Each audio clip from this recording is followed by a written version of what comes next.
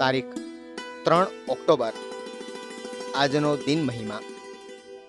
નર્મદાબહેન પાઠક ગાંધી યુગની સત્વશીલ નારી શક્તિ. નર્મદાબેન પાઠકનો જન્મ ભાવનગર પાસેના વાલુકુલ ગામે ઈસવીસન ઓગણીસો ને પંદરમાં થયો હતો.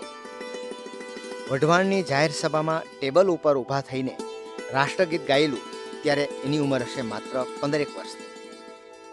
અભ્યાસ દરમિયાન લાઠી, લેઝિમ અને ઘોડેસવારીની તાલીમ પણ લઈ લીધી. નિડરતા એમના વ્યક્તિત્વનો મુખ્ય ગુણ. પૂજ્ય ગાંધીજીની સંમતિ મેળવી આશ્રમમાં દાખલ થયા.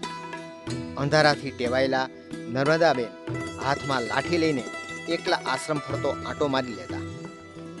દરમિયાન બગસરામાં ચુસ્ત ગાંધીવાદી લાલચંદભાઈને બાલ મંદિર માટે બહાદુર બહેનની જરૂર હતી. બીજુભાઈ બધેકાએ વર્ગમાં લખાવેલા ગીતો અને વ્યાખ્યાનોની નોંધપોથી સાથે બગસરા જઈને સહજ ઉષ્માસભર વ્યવહારથી બાળકો અને વાલીઓનો પ્રેમ સંપાદન કર્યો.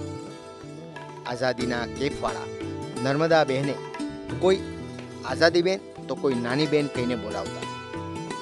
સ્વાતંત્ર્ય સેનાની સાહિત્યકાર રામભાઈ સાથે લગ્ન ગ્રંથિથી જોડાયા. ત્યારે કહેલું કે સેવાની દીક્ષાની જેમ જ લગ્નની દીક્ષા જ છે? રામભાઈને સમાજ સેવાનું અને લેખનનું કાર્ય કરવા હંમેશા મુક્ત રાખ્યા.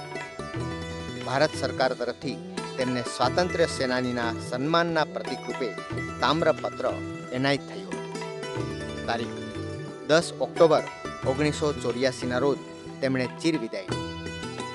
કાંતિભાઈ શ્રોફે તેમને અંજલિ આપતા કહેલું, ગાંધી વિચાર આચારનું એક પાસું. એટલે નર્મદા બહેન.